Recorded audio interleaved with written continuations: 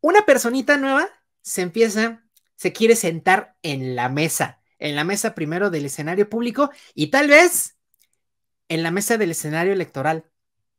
Resulta que Rosario Robles, así es, una de las responsables de la estafa maestra, donde se desvió, se desviaron más de 7.500 millones de pesos a través de, diversas, de diversos mecanismos entre los que se encuentran universidades públicas.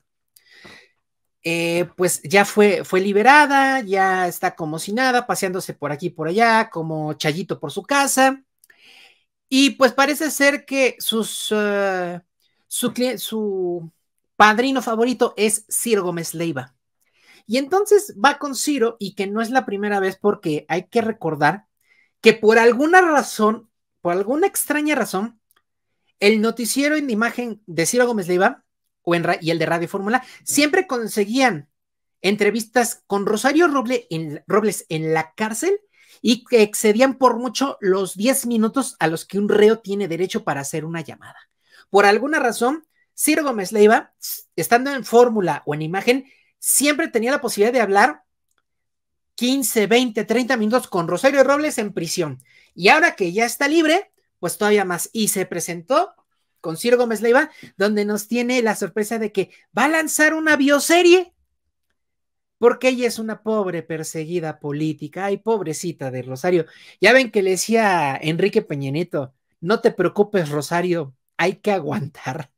Pues bueno, estuvo un rato en el tambo y luego de estar en el tambo, eh, sale y ahora pues parece que se pretende cobrarse a lo chino lo que le hicieron, pero no precisamente a quien se lo hizo, que fue, los, son los gobiernos del PRI del PAN, porque ellas, ellos fueron quienes la embarraron en eso, hablando sinceramente, y el sector corrupto del PRD, no, se quiere, le quiere cargar el muertito a López Obrador.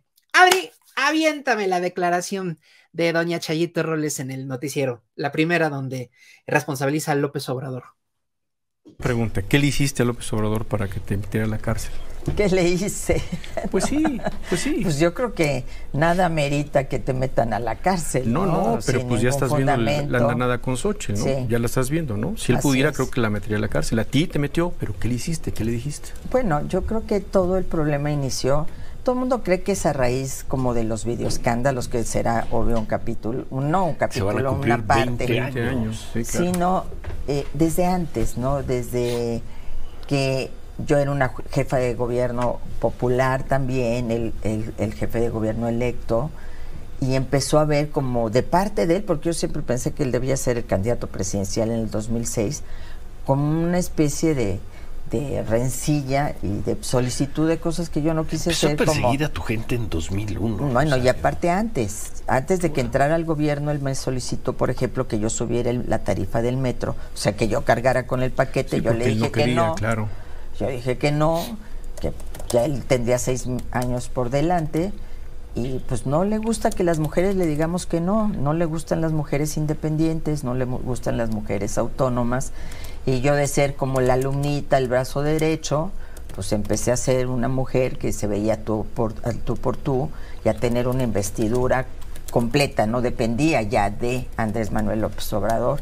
Y desde luego a mí el ingeniero Cárdenas siempre me soltó con toda libertad y, siempre me dio esa, esa potestad de ser yo misma. Entonces desde ahí creo que viene este encono que, que, yo creo y parte de lo que hemos planteado nosotros en la serie y que vamos a plantear es el tema de la, de la reconciliación, de tejer un México sin miedo, de poder lograr que... ¿Quién si, quiere la reconciliación? López Obrador no. No. Pero yo creo no, que la López. inmensa mayoría de los sí. mexicanos, Ciro, no podemos seguirnos peleando en las mesas entre hermanos y hermanas. ¿Claudia Sheinbaum querrá la reconciliación? Yo creo que la mayoría de México. Claudia Sheinbaum la ves pues en depende, esa línea? Depende de cómo quede, de cómo quede el proceso electoral y también depende de, de, del país que vamos a recibir o que se va a recibir, porque pues y es lo que yo también he dicho y digo y por eso quise en este momento también salir, es decir, oposición, no nos podemos esperar hasta junio del 24 porque no vamos a tener país para entonces, tenemos que desde ahora salir a la calle a manifestarnos, no solo a defender a una persona y a todos a los que ha perseguido políticamente este gobierno, que son varios, y a muchas mujeres que ha atacado, sino a defender a la gente. La gente está abandonada. Preguntémonos en Guerrero. Guerrero la gente tiene un abandono brutal porque no hay gobierno y podemos decir eso de muchas partes. Ahí está. ¿Cómo la ven? A la pobrecita víctima Rosario Robles, que la metieron injustamente a la cárcel. Bueno, a ver, por partes, por partes, porque hay una segunda parte que, no me no quiero terminar el programa sin que pues quede, quede, quede constancia de lo que está haciendo esta señora, ¿no? Primero dice que, ay, que yo pobrecita y que López Obrador me tenía mala fe, que porque ella era una jefa de gobierno muy querida. A ver, amigas y amigos, hay que recordar la dimensión de las cosas.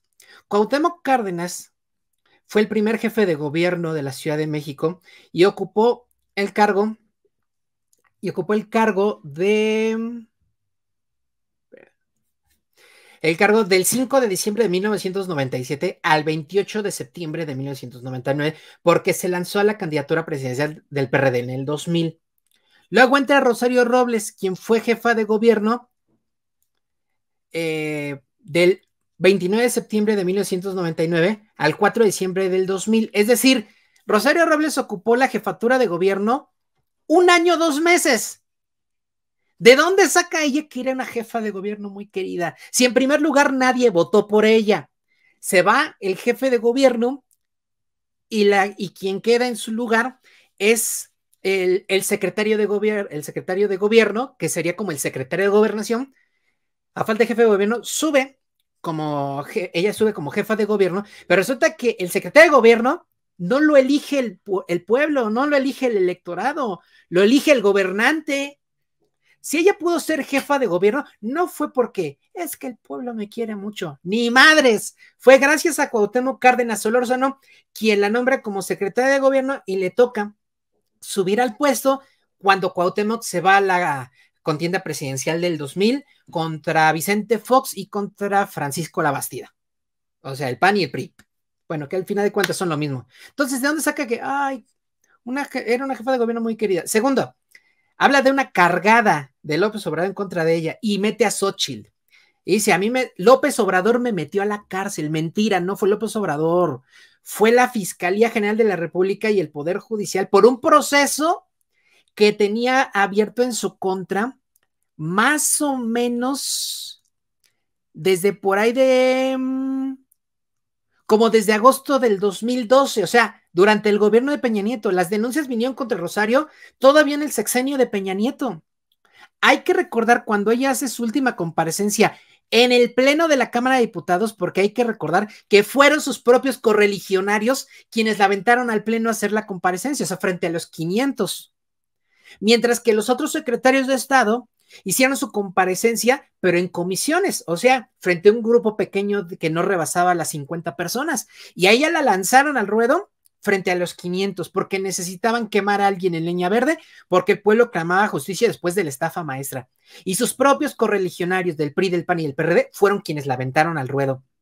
En el sexenio Peña Nieto le levantaron la denuncia, pero no fue sino hasta ya entrar a la administración de López Obrador, donde la Fiscalía, ya Fiscalía General de la República, ya no Procuraduría General de la República, decide emprender acción penal en contra de ella, o sea, meterle al tambo para que llevara su proceso eh, en prisión. Y hay que recordar que la Fiscalía es autónoma, no depende del Ejecutivo Federal, como si dependía del Ejecutivo Federal, o sea, el presidente de la República, la Procuraduría General de la República al Procurador General de la República lo ponía el presidente y lo podía quitar el presidente. En esta ocasión fue la Fiscalía, con el aval de un juez, quienes decidieron que Rosario Robles, quien se presentó, hay que decirlo, voluntariamente a su primera audiencia, pues llevara su proceso en prisión. Y después de ver todas las fugas de los priistas que tuvieron que ir a agarrar hasta el extranjero, pues no se, no se quisieron esperar. Y ellos fueron la fiscalía y el poder y un juez del Poder Judicial quienes la meten al tambo. No fue López Obrador. Luego le trata de cargar otro muertito. López Obrador me pidió que subiera el precio del boleto del metro de la Ciudad de México. El metro de la Ciudad de México es el transporte público más usado probablemente del país. Y ella quería Y, según ella, López Obrador quería que ella subiera el costo del boleto del metro y ella le dijo, no, yo no, yo no voy a subir eso, no lo voy a hacer. Y ella muy temeraria le dijo que no al, jefe de gobierno electo. Y luego lanza la, la vieja confiable del machismo. Pues es que a él no le gusta que una mujer le diga que no. Ándale, pues.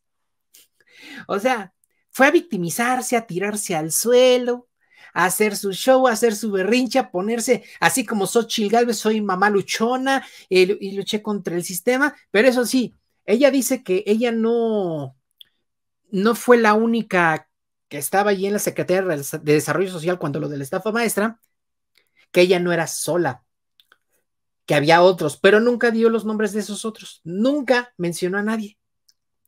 Me va a decir que la secretaria de Desarrollo Social, la titular de la dependencia, la que recibía el presupuesto, que muchas veces, y lo hemos visto en otros este, programas de Al Rojo Vivo para Celine MX, recibía el presupuesto en ceros, literalmente en ceros de la Secretaría de Desarrollo Social, no estaba incluida dentro del presupuesto de egresos. Y, hay, y aquí en los programas del Rojo Vivo hemos puesto los documentos.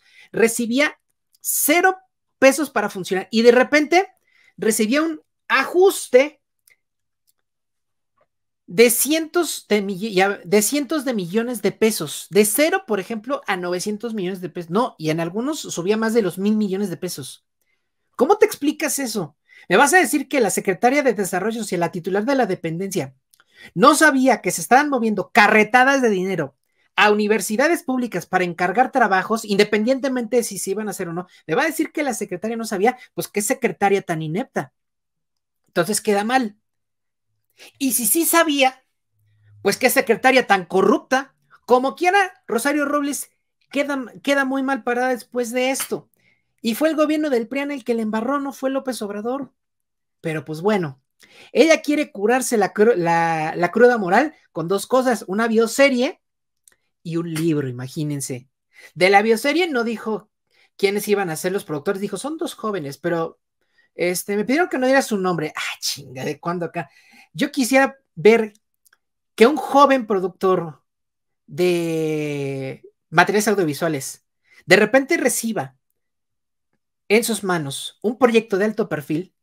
Yo se los digo porque yo tengo un primo que se dedica a eso. Ellos quieren que su nombre se conozca que le crean en su casa que los chavos, suponiendo que existan y que sí sean esos chavos,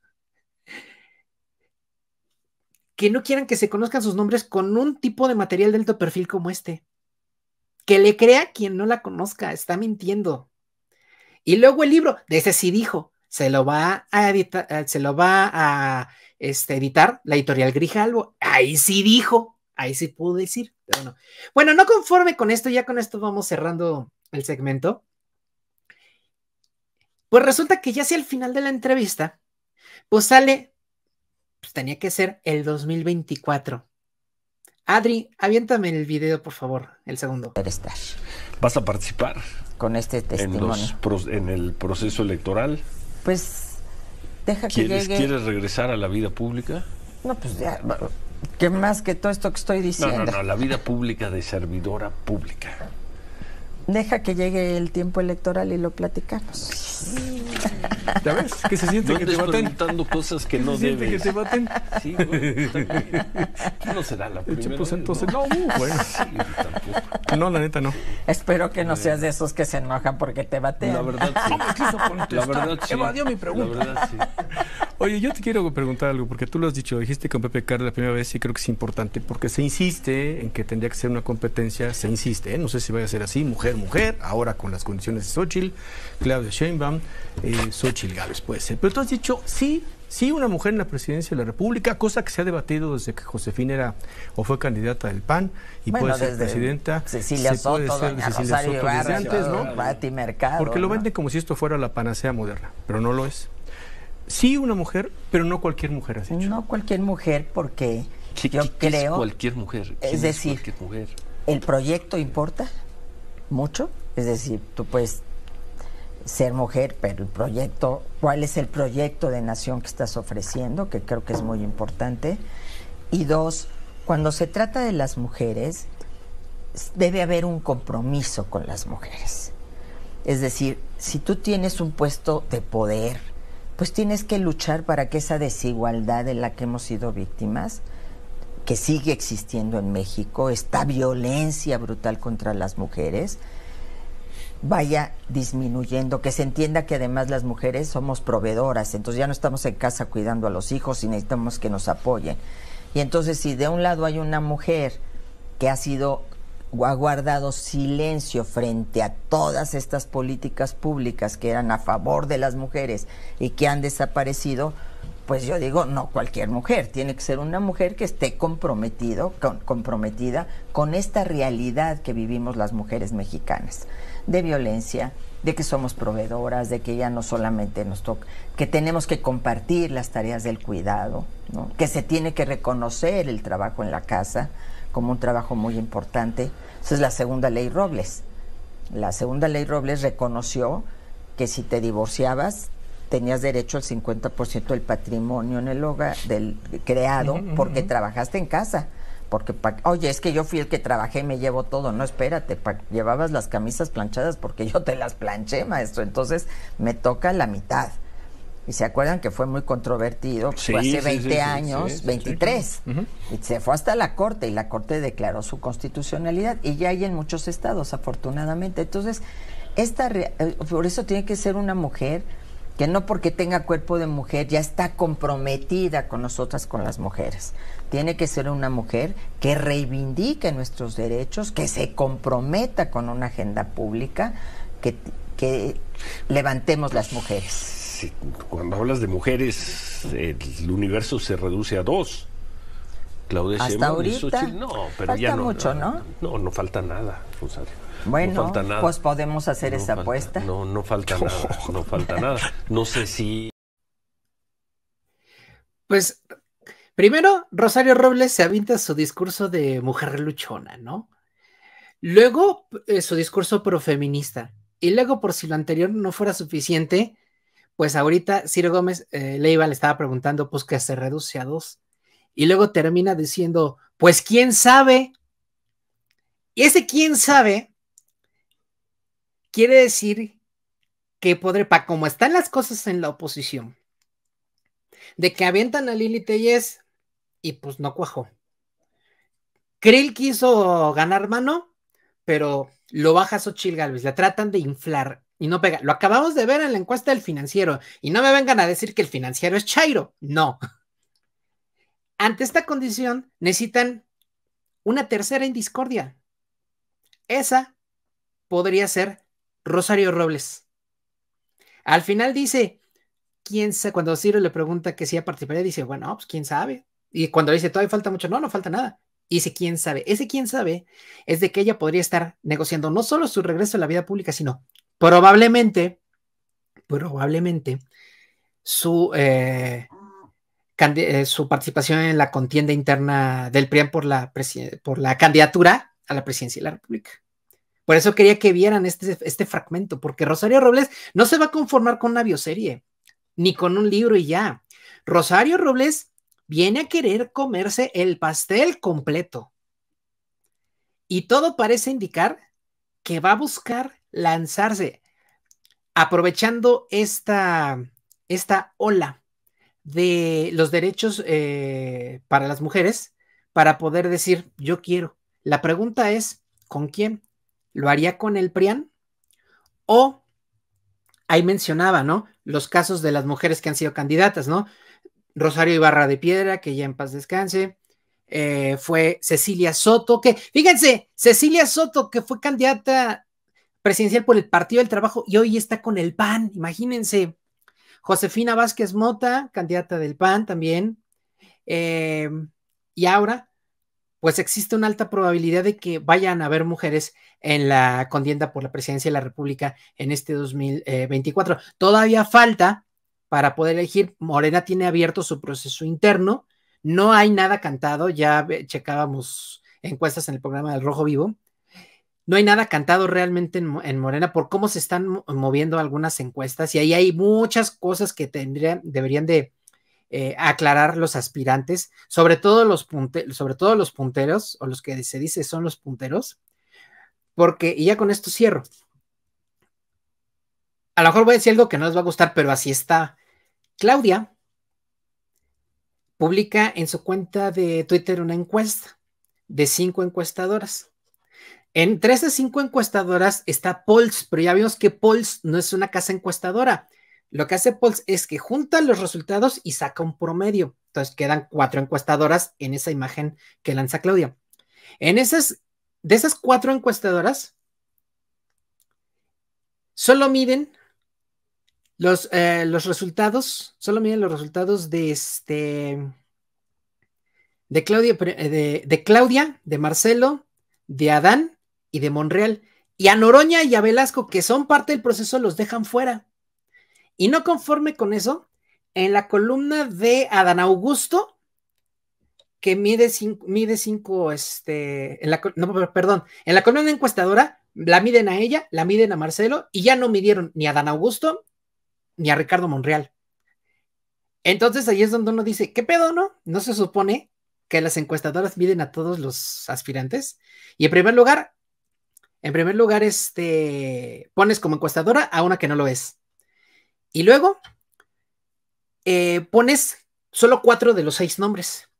Y luego, una de esas cuatro encuestadoras solo mide a dos candidatos y margina a los otros dos.